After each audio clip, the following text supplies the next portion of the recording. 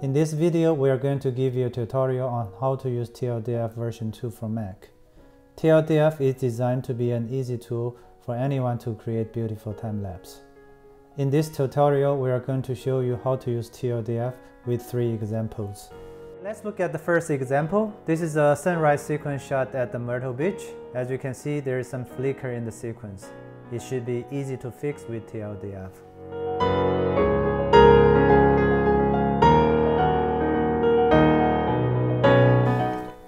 These are the JPEG files of the same time-lapse sequence. This is a picture before sunrise. This is after sunrise. Select all these files and drop into TLDF.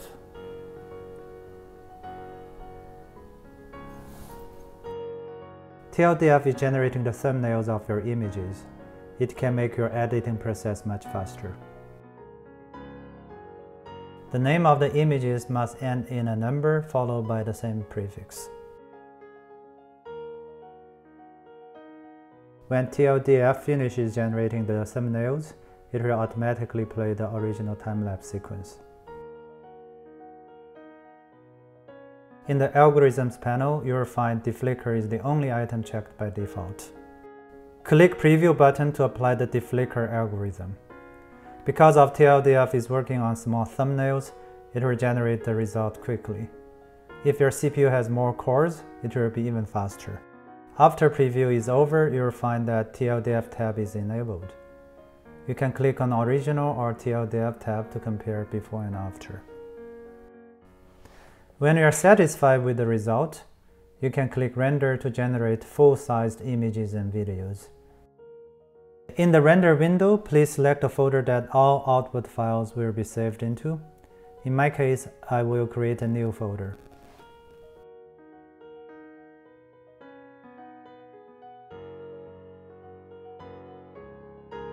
You can change the prefix of output files if you want to. TLDF can output images, videos, or both. The output image will have exactly the same size as the original images.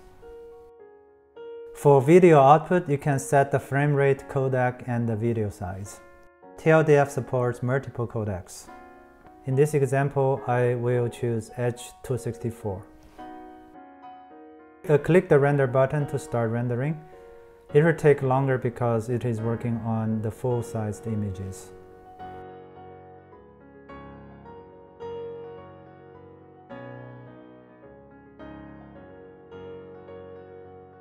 After rendering complete, go to the output folder to find all the files.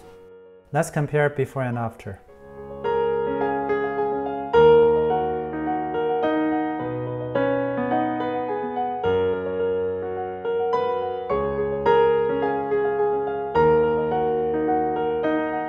Now let's look at our second example. This time we'll try raw image sequence. This is a day to night city time lapse shot in Charlotte. This is original time lapse based on unedited raw images. TLDF can decode wide range of raw image formats supported by the latest OS X. Let's drop the raw files into TLDF and let it generate thumbnails. Raw workflow will be slower than JPEG workflow.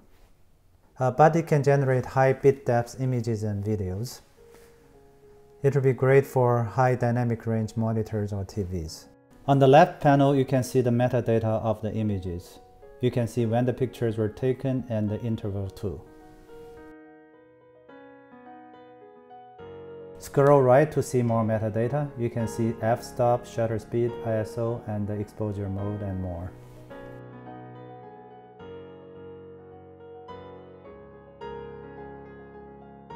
As you can see, the depth of these images is 16-bit. Detecting this information, TLDF can generate high bit depth ProRes videos and 16-bit TIFF images. This sequence lasted almost 2 hours, covering pre-golden hour to post-blue hour. I shot this time lapse with fixed daylight white balance, so the sequence will look cold at the beginning and warm at the end. This is the last frame, Let's fix this with the Edit function. Click Open the Edit Image panel. Turn on Keyframe checkbox to edit this frame. Adjust the temperature to the desired look. Let's increase some contrast. Because the color doesn't look very nice, uh, let's reduce some saturation. Click Close. The setting of all other images will automatically match the edit you made here. On the left panel, you can see the color of the last frame turned into orange, meaning it is the keyframe. When I scroll all the way up, you can see the first image looks terrible. The time is near golden hour, so the color is supposed to be warm. The previous edit made the color even colder. Uh, let's edit this frame. You can see the settings are the same as the last edit. Click on keyframe, now I can change the setting of this image. I'm going to increase the temperature. Add some saturation. Increase shadow to bring some details on the buildings. I want to reduce the contrast because sky is so much brighter than the buildings. After you click close, the settings of the frames between these two keyframes are automatically interpolated. This makes the transition smooth between the keyframes.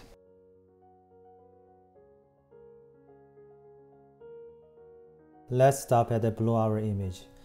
City looks best at this time, so we want to make sure the settings are perfect too. Uh, the picture looks desaturated because of automatic interpolation. Let's increase the saturation to bring the color back. I'm going to change the setting freely to make it look good. Okay, it looks good enough. I'm going to click preview to see what it is going to look like after deflicker is applied. Unlike other tools in the market, TLDF deflickers first and then applies the tonal and color settings to the images for optimal performance. Let's render the sequence. For this one, I'm going to select ProRes 422HQ.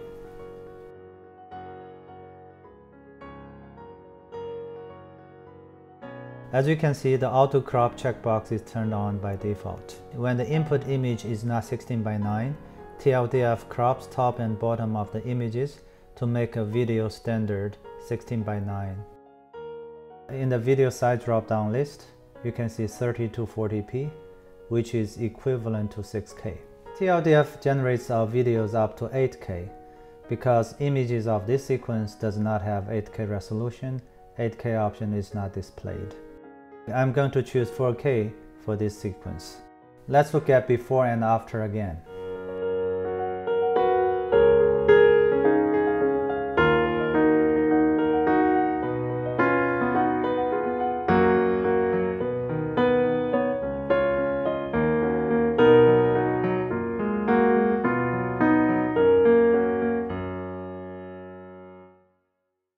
Let's look at our third and the last example also the most challenging one.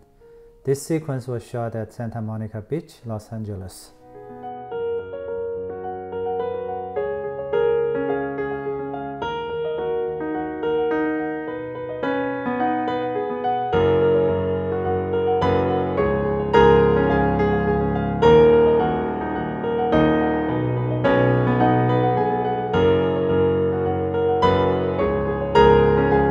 Sequence is challenging because half of the image is flickering naturally caused by the moving tide reflecting the sky. Uh, in this case, the changing light level on the tide caused the camera to compensate for it, which again caused the significant flickers in the sky. Let's preview and see what happens after deflicker.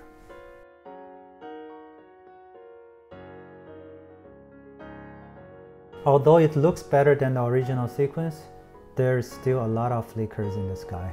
TLDF deflickering tries to reduce the flicker level of the entire image. This means it tried to deflicker the tide portion too, which is almost impossible to do. By doing so, it didn't deflicker the sky correctly. To fix this and the similar problems, we added a new feature to TLDF that allows users to set the reference area. Reference area should contain the part of image that should not flicker. For best result, make this area as large as possible. Check use reference area and click set.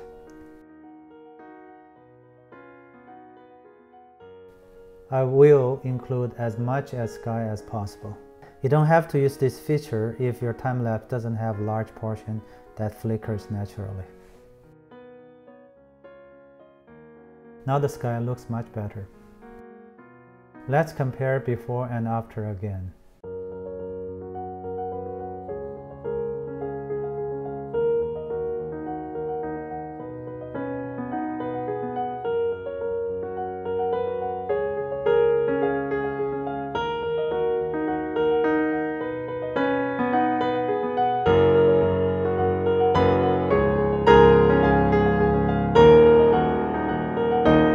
Several other features that has not been covered in this tutorial. For example, you can use light blending to generate star trails or use average blending to remove traffic. You can also use mask feature to blend part of image. It could be useful in smoothing the water while keeping other parts sharp.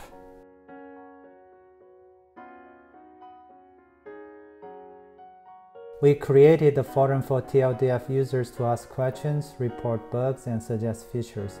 Please check description for the link. Please also subscribe for the latest update on TLDF. Thank you.